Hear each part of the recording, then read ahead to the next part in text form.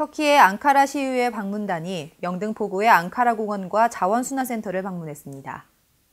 18일 오전 앙카라 시의회 내일 차이맨 부의장을 포함한 대표단 10여 명이 여의도에 위치한 앙카라 공원을 방문했습니다.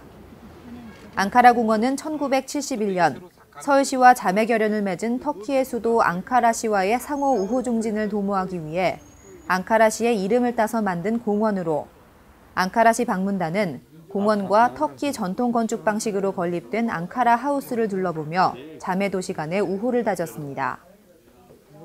이어 방문단은 영등포구의 자랑 중 하나인 자원순환센터로 이동했습니다. 영등포구 조기령 구청장은 직접 자원순환센터를 소개하며 자원 재사용과 재활용을 권장하고 재활용 전시장을 운영하는 등 다양한 방법으로 환경보호를 위해 노력을 펼치고 있다며 환경보호에 앞장서는 구의 노력을 강조했습니다.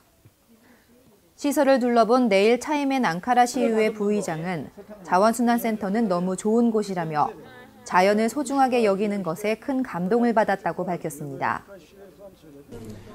Tabii ki e, çok doğru bir şey. Açıkçası çok etkilendim.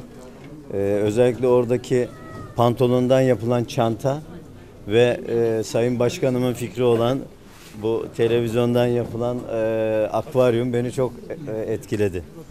Doğa bizim için çok kıymetli. Doğaya gösterilen bu ilgiyi de ayrıca takdirle karşılıyor. 셀만 오크로드 앙카라 시의회 사무부장은 자원순환센터 방문을 통해 재활용에 대한 시각이 넓어졌다며 환경 보호를 위한 좋은 아이디어를 얻었다고 밝혔습니다. Evet bizim de ufkumuzu açtı. Bu atıkların değerlendirilmesi çok güzel bir şey. Özellikle çevreyi koruma açısından. Ee, bizim için de bir örnek oldu. Çok teşekkür ediyoruz. Gönlünüze sağlık, elinize sağlık diyor.